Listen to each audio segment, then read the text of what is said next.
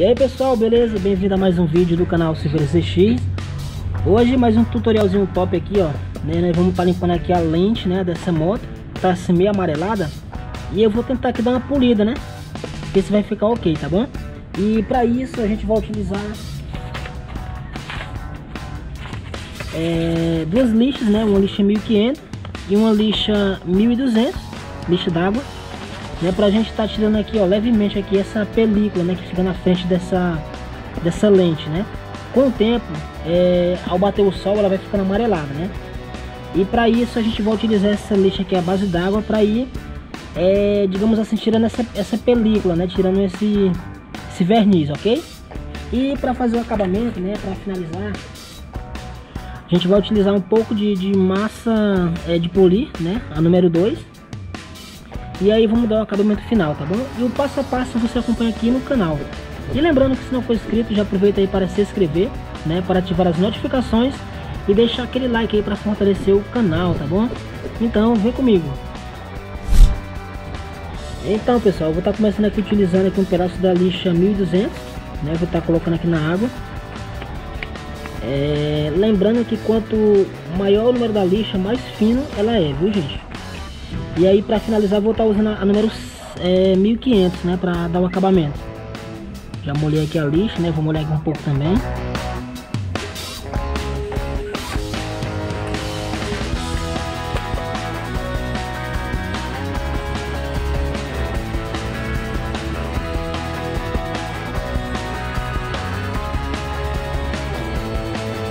Bom pessoal, vocês podem ver, ó, já tá saindo aqui essa crostazinha, essa crosta aqui, ó, esbranquiçada, né? Essa lamazinha. Aqui é o verniz, né? Que fica na frente do farol. E aí você vai fazendo e vai molhando a lixa, tá bom? Para evitar aí ralar.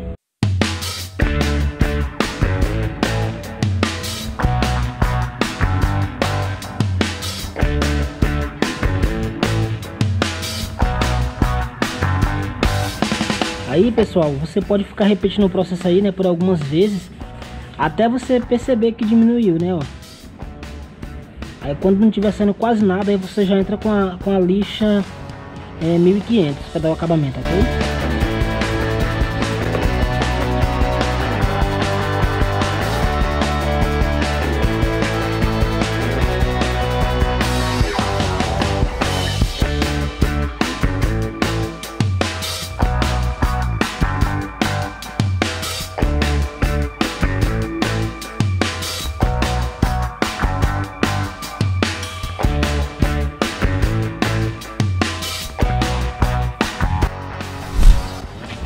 Ok pessoal, vocês percebem que já deu uma diferença, né?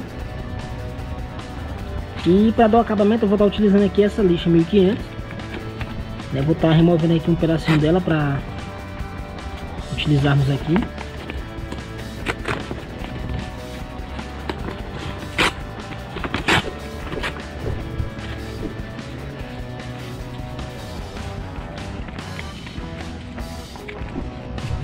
Lembrando, pessoal, que toda vez que vocês fizerem esse procedimento, vocês têm que estar sempre molhando, tá ok? A lixa e o farol, ok? E aí você começa a fazer aí né, o procedimento para dar o acabamento final.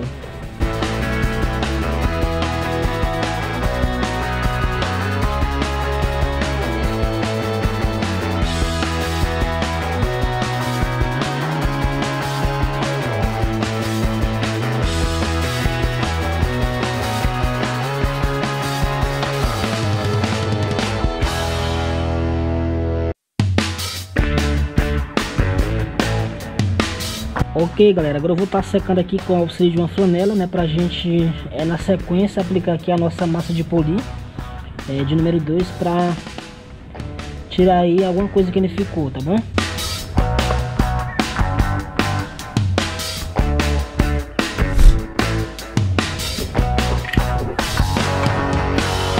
Bom, agora estamos aqui com a nossa massa de polir, né, vou estar utilizando aqui um pouco dela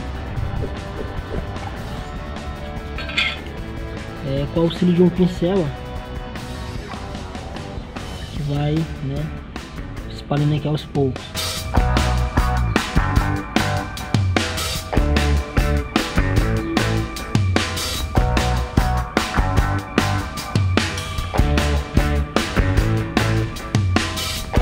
E aí pessoal, é só a gente esperar um pouquinho aí, né, mais ou menos aí uns 5 minutinhos, enquanto ela dá uma secada, ok?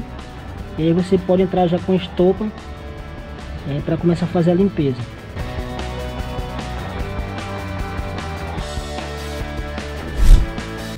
Bom pessoal, com o auxílio agora de uma estopa, a gente vai estar tá removendo aqui né, essa massa que a gente aplicou para começar o nosso procedimento de cristalização, ok? Então vem comigo.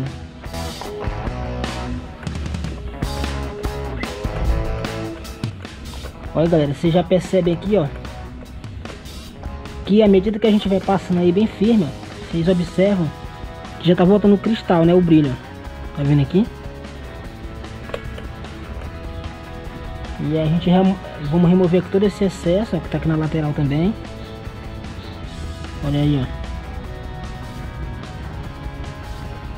Aí quanto mais você botar força, melhor, viu? Que limpa mais, ó.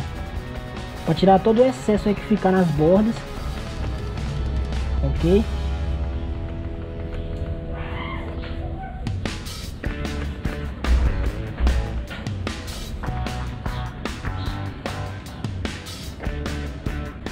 E aí para finalizar você vem com o auxílio de uma flanela e faz aí né, o, a limpeza final, né?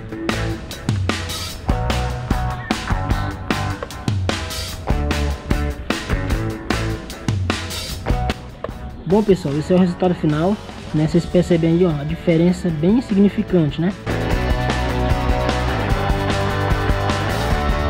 Ok pessoal, gostou? Achou legal?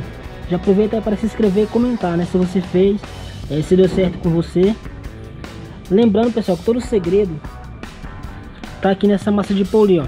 De preferência a, a número 2, que a, que a gente utilizou aqui, ok? Ela vai te ajudar bastante aí a você utilizar esse cristal aqui, né, do farol por mais alguns meses. Então, se o vídeo for útil para você, aproveita aí para se inscrever no canal, para ativar as notificações e a gente se vê no próximo tutorial.